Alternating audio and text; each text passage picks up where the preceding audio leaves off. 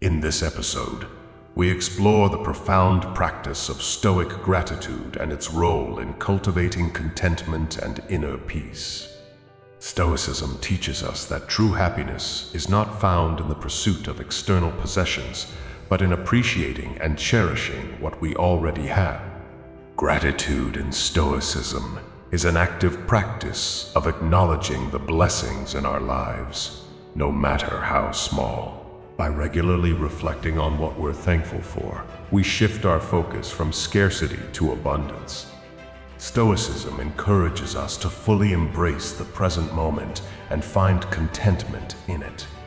By savoring life's simple pleasures and recognizing their inherent value, we learn to live in the here and now.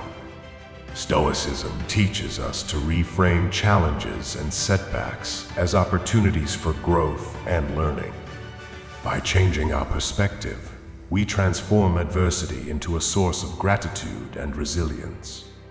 Stoicism advises us to detach our sense of contentment from external desires and outcomes. By realizing that true contentment arises from within, we become less dependent on external circumstances for our happiness.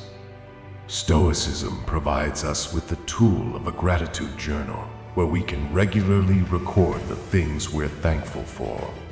This practice reinforces our sense of gratitude and contentment, reminding us of life's abundance.